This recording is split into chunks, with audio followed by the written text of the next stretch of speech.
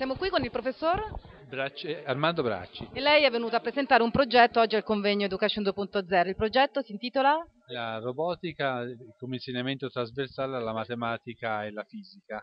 Lei insegna in che scuola insegna? Insegno nel liceo scientifico Cesare di Livorno, insegno matematica e fisica, generalmente nel triennio ma anche eh, nel biennio. Ci racconta un po' il suo progetto?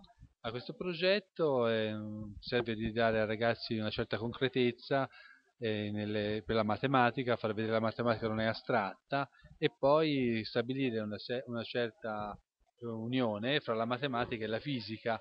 Quindi la, la matematica viene usata per costruire un modello di comportamento del robot, mentre la fisica viene utilizzata per verificare e testare questo, robot, questo modello e poi eventualmente eh, mediante la matematica eh, modificarlo quando il comportamento non è eh, cons- consono a quanto si aspettava. E in pratica che cosa fate in classe con eh, i Allora, ragazzi? per i ragazzi insegniamo a programmare, perché ci vuole eh, saper programmare il robot, utilizzando in prima i- un, un linguaggio fatto a componenti simile a quello del- dei componenti Lego, perché il robot è, è nel stile della Lego, poi eh, con lezioni te- eh, come lezioni teoriche eh, gli vogliamo dire, ci spieghiamo dov'è che vogliamo arrivare e poi con eh, all'aiuto nostro, mediante la programmazione, loro alla fine dovrebbero riuscire a far fare al robot dei movimenti ben eh, definiti, ben determinati. Immagino che il coinvolgimento dei ragazzi sia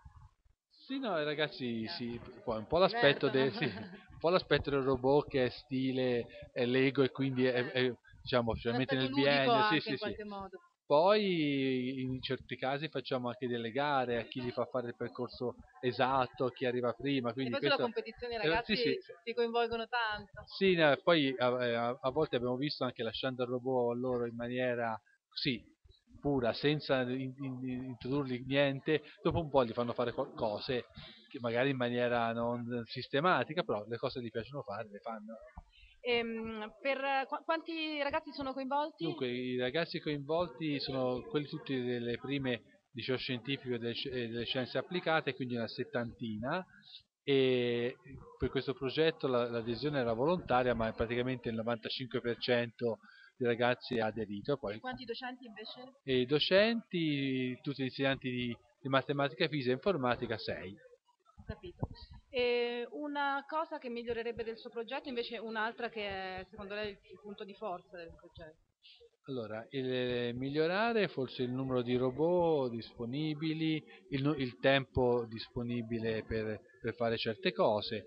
La, cosa- eh, la chiave è il, si, diciamo, che si impone, si, si costringe, ma la parola è, è sbagliata, eh, si invita i ragazzi a riflettere su quello che succede, quindi a risolvere problemi Certo. e non lavorare su schemi preordinati, ma Certo. cercare di ragionare e cercare di capire quello che sta succedendo. Ma il suo progetto è modellizzabile, cioè replicabile dalle- da altre scuole? Se sì, con quali accorgimenti, con quali consigli? Ma eh, l'importante, cioè l'unica cosa eh, che è necessaria è avere i robot della Lego, e- ma hanno un costo limitato, quindi e avere un robot per un numero di, di- al massimo di due studenti perché devono metterci le mani, quindi in una classe una scuola deve dotarsi per almeno una quindicina eh, di robot. E, e poi per il resto non occorre altro, avere uno, uno spazio di laboratorio e la voglia di farlo. Certo. Un'ultima domanda, il suo progetto con uno slogan? Mm. Eh, saper leggere, scrivere e far di conto. Grazie mille.